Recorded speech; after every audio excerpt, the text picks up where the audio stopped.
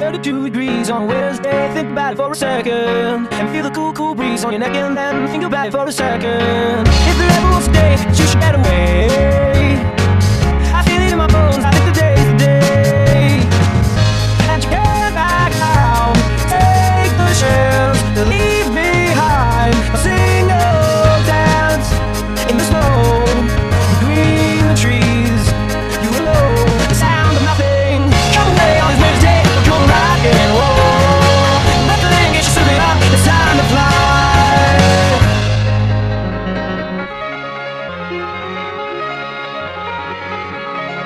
Thank you.